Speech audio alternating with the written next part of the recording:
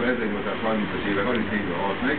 A híd aluljáróit már akkor kialakították 37-ben, modern mintás svéd példák alapján.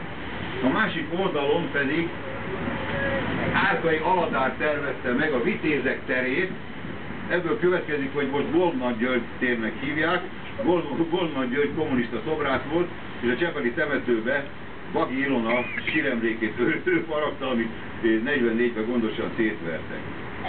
Vitézek tere, amelyik, amelyik mellett kettős keresztül vezetett volna, nagyjából azért ez az a kív, ami itt látható, az adva van. Itt, itt most a, ja, Csepeli gyorsvasút 1951-ből, annak